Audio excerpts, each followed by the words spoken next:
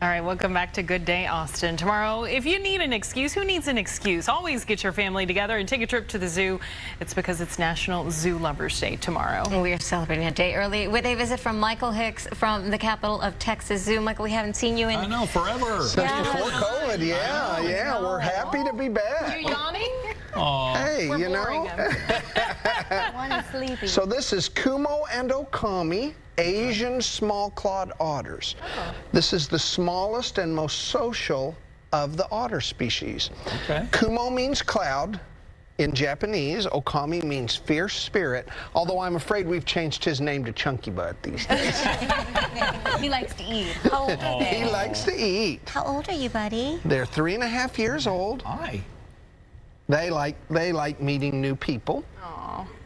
Now you, um, you, you've, you're holding them quite tightly, and that's for a reason because they're little little squiggle worms. Well, they are, and their their idea of something really fun is to get loose, and they would love nothing better than to destroy this whole uh, studio here, and then do it in about 10 minutes. Okay. So I have to make sure that doesn't happen. You stay away from the weather center. They uh, they So eat do a, they live at the zoo? they live at the zoo, but I live on zoo grounds. At night, they still live with me. I raised them from six weeks old. Oh. I, You're I- Papa. What do I I'm live in? Papa. I have one room that's otter-proofed, and they are only allowed to be in that room. They eat a special kind of pelleted diet, and then they get some fresh fish every day. Uh, for special occasions, they each get a small frozen lobster tail. Oh, wow. What's this? So this is Um, this one is Chunky Butt. Chunky. Butt. To me, they look just as different as children. Uh, and this is Kumo, the female. Now, these were raised together from their time they're babies, so they will never breed. So they have something called sibling inhibition. So uh, we did recently acquire a new male, and Kumo is spending some time with the new male and some time with Okami because we'd like to have some baby otters. Thank you. Um, I think when we think of otters, um, the, the the layman here uh, thinks of them being in in water. Well, These guys are land creatures. Well, they swim and hunt for food in the water, but they nest and sleep on land. They, oh. the only one that lives its entire life in the water is the sea otter. Chunky um, Butt here is sleepy. Oh, He was yawning earlier. I know. Very cute. Yeah, so they have nests and they, they travel a lot on land as well. They're not required to be in water all the time. Okay. So what else do you have at the zoo other than? Well, we're very excited about two new exhibits that will be finished June 1st. We've had somebody pay for a 19,000 square foot new exhibit for our Asiatic black bears. That's the largest in the country. And a 19,000 square foot new exhibit. No, you can't get down.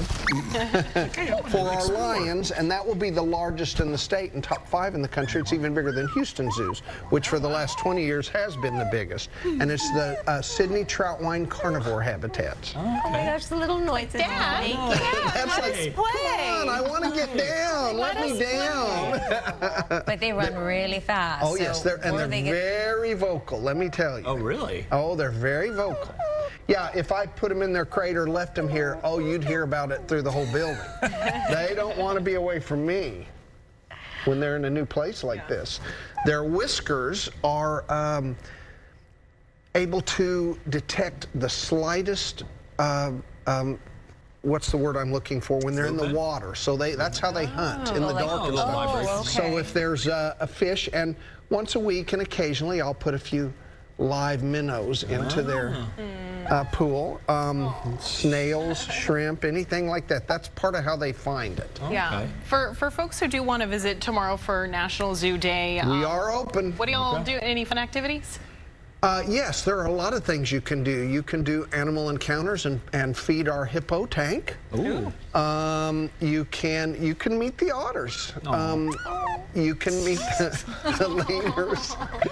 Oh. We've got a nice petting zoo. So Wish my dog would do that. they talk to me, yes. Um, so we've got lots going on every day. We've got a new safari tram ride that we take through the big two-acre pen, and you go in, and all the animals want to come up and, and eat out of your hands. And we talk about our endangered species in there and our projects, that kind of thing, and that's brand new. So when you get back in your vehicle, do these guys go in in a little kennel area? Yeah, they carry in a kennel. Yeah, there's no way I could let them be free while I'm driving. That would not work. That would be interesting. Let me Yes. tell you. That's correct. Um, what's the website for our viewers so they can get capitalofTexasZoo.org. We also have a Facebook page, and we're open 9 to 5 every day, weather permitting. We're not open today, but we're open tomorrow. Okay, cool. Thanks so much for It was great seeing you again. Yes. Yeah, it was good to see you guys. It's been a while. know. I know. Come back and bring bring us some more little babies. We will. Sure. Yeah. This is the baby season. This Oh, yeah. Yeah. All right. Well, thanks so much, Michael, and thank you. We'll be right back.